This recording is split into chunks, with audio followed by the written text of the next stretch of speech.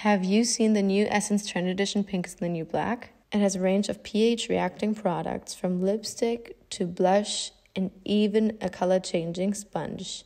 Which product are you most excited to try out?